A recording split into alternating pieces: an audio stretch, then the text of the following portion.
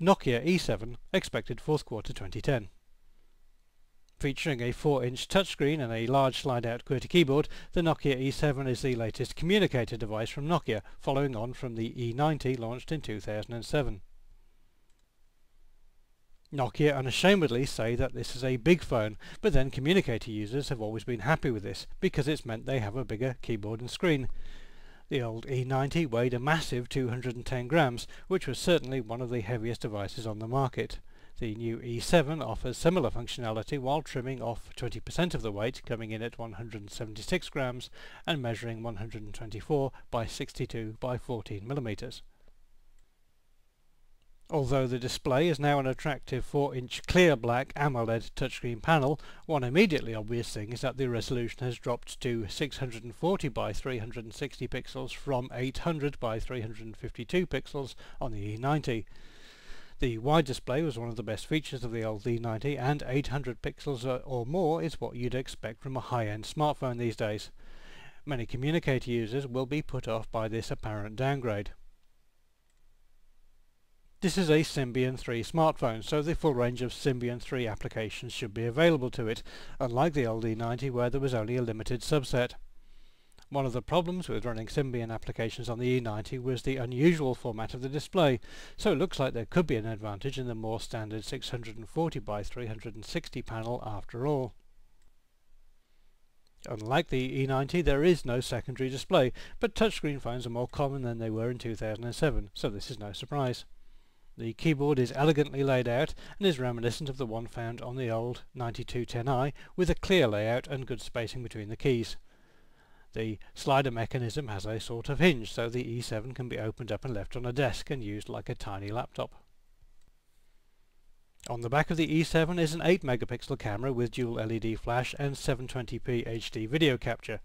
Videos can be played back through the familiar 3.5mm AV connector or via an optional HDMI adapter.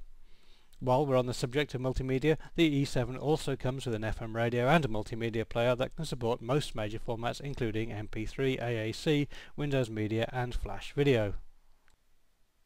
The E7 is a business category phone though, so it comes with options that consumer-only devices usually don't, including VPN capabilities from next year, advanced integration with Microsoft Exchange and a security suite from F-Secure to track, lock and wipe missing devices. The E7 also comes with a version of QuickOffice and various other productivity tools.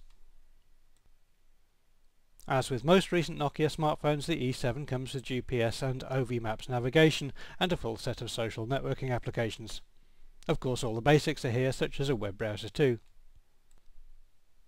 This is a 3.5G device supporting HSDPA downloads of up to 10.2 megabits per second and HSUPA uploads of up to 2 megabits per second.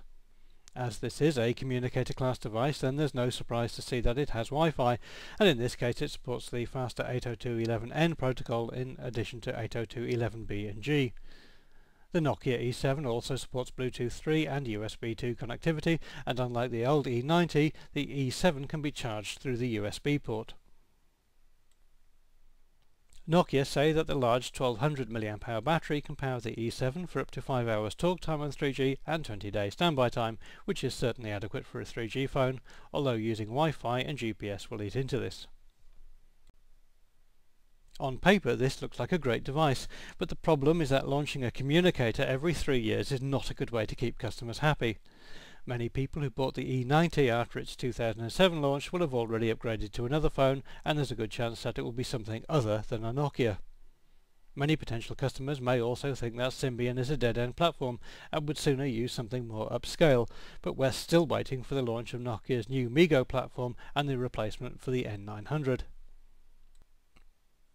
Despite our reservations, this does look like an excellent device that should appeal to tech-savvy consumers as well as businesses.